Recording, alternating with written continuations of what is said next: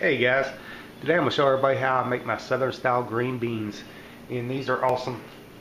Use uh, got five pounds of fresh snap beans here and uh, got to clean them up, uh, cut the ends off that have stems, you just snap them, snap.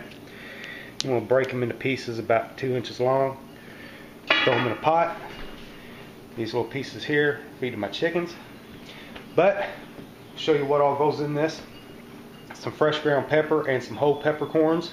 I've got some sea salt. I will go easy on this until towards the end because my chicken broth is not low sodium. It is low fat or not no fat. And uh, that has some salt in it. So I'll wait and see what, what it tastes like there. Plus, uh, let's see, I'm also going to do some red pepper, uh, cayenne pepper. I've got two kinds. This here's a you know McCormick's, and it's it's really red. And this I bought from a uh, bulk dealer. It's a little more orange, but it's got a lot of heat. Some red pepper flakes, some chopped garlic. I know it's from a can. I didn't have any fresh. This has been in the refrigerator. I'm gonna use it up. Dice up some mushrooms, put in it. Of course, I got bacon. I'm gonna probably put uh, two strips of bacon in the bottom of this big stock pot. Give them just a little sizzle to release a little fat and uh, then I'll throw some uh, you know put the beans in there and put the chicken broth on it. And if I need a little bit more fat I've got some uh, you know reserve bacon fat we keep in the refrigerator. I will put a bay leaf or two in it. And like I said I use chicken broth. Now I got about six this takes about four hours to boil so a lot of that chicken broth the liquid uh, water in it will boil away so you know I'll just replace that with uh, fresh water. And all the good stuff in the chicken broth will remain, you know, it doesn't evaporate out. The salt and, you know, any solids in it. So anyway, I'm going to get these all snapped up, cleaned up, rinsed off, ready to go. And then uh, I'll be back to uh, show you the progress. Well, I got them all cut up and everything. And I forgot two very, or a very important ingredient, uh, beginning, which is some onions. So I got a couple of nice purple onions there, and I'm gonna get them uh, cut up in big chunks. I'll put them in there. Now this isn't like sauteing green beans, you know, I'm just getting them warmed up and then eating them. You know, I love them that way too. But this is southern style green beans. These things are gonna be cooked for four hours. They're gonna be the absolute most tenderest things you've ever seen in your life. Succulent, succulent, uh, just seasoned perfectly. And this is, uh, you know, this isn't much this is the waste. I'm gonna give that to the chickens. And uh, I got some stem ends, plus I got some uh, green beans that kind of softer, you know, dried up a little bit and didn't snap when I break. So chickens will get those too. This time of year they're coming from Mexico and uh, Central America. I got them from uh, Kroger, and you know we'll be growing my own this year again though. So you know season's coming up. Y'all try this recipe here out, see what you think. But I got them.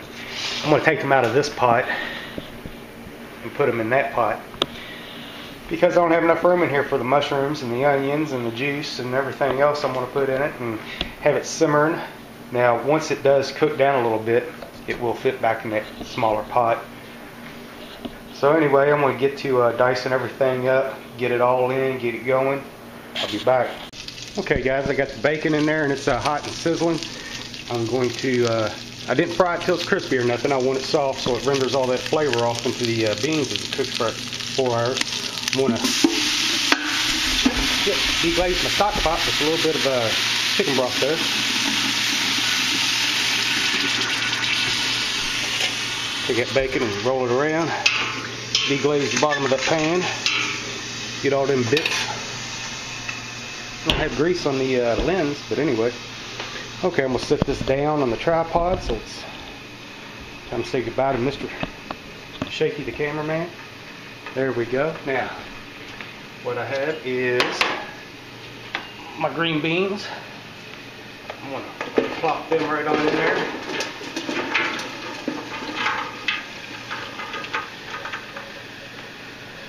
Five pounds of green beans.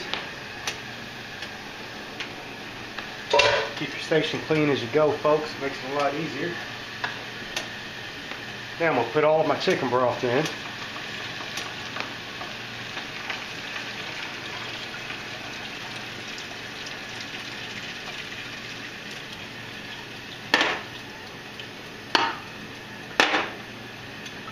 Thank Sorry it's taking so long, guys. I may edit part of this out later.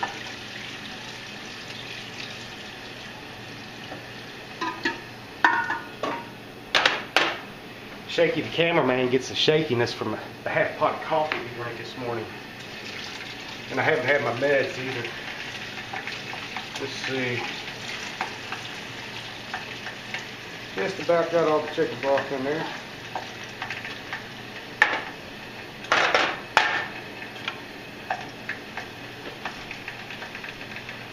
There's the mushrooms I cut up.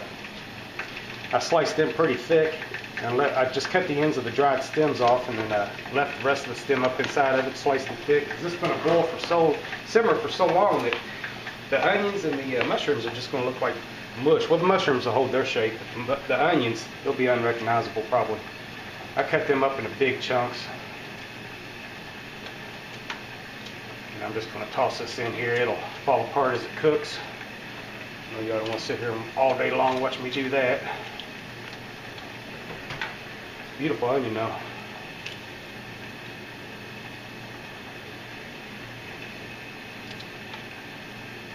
Get all that in there. And I want just a little extra bacon grease because those two thin slices didn't really put a whole lot in. So I'll put that in there.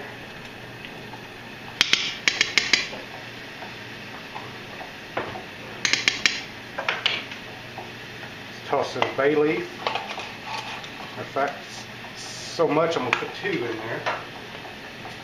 My uh, crushed red peppers, which are actually, I think, just red pepper seeds.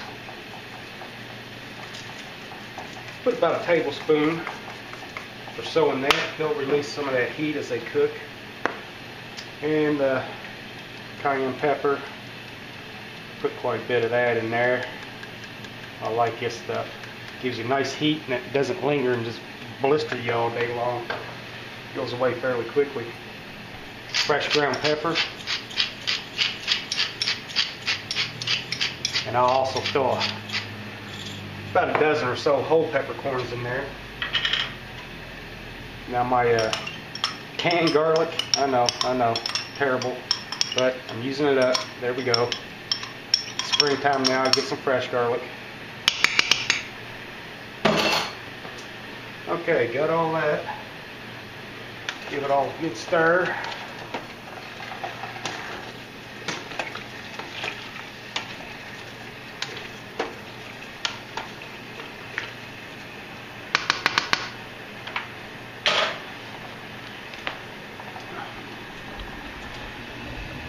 Now I'll let that uh, cook up. I'll let it get a rolling boil. I'm gonna put some water on top of it to make sure I got them covered. I'll get it to a rolling boil, then I'll turn it down to a simmer and let that sit there and uh, simmer for about about three and a half, four hours or until they're just super, super soft and, and yummy. And then I'll uh, check the seasonings and go from there. All right, we're back. It's been about actually almost five hours now. You'll know that they're done when uh, you go to when they get kind of limp and then when they uh, you taste them the broth is salty and spicy. And then you you know you're tasting the green beans as they cook along and uh, the green bean doesn't really have any kind of seasoning or any kind of heat to it. So you want to keep cooking it you know times are going to vary. You want to keep cooking it till you can bite a green bean and then you taste that salt and the spice in the green bean itself as well as the broth so then you know it's done and they're just as soft as they can be. I'm going to fill up a mug here. The onions, hope I ain't too steamed up. The onions are just mushy, but there are big hunks of, uh, oh, do this one-handed. There's big hunks of mushroom in there. Now those mushrooms, they'll pick up the salt and the spice before the green beans do. So don't let that fool you. You want them green beans to be good and seasoned by the time they're done. And they get darker. They're a whole lot darker than they used to be. Alright guys, I'm going to grab me a fork and a ladle. Whoop, get off this messy table. We'll grab a fork and a ladle. I'm going to put some juice in here. Grab me a fork and I'm going to have dinner. Thanks a lot. See ya.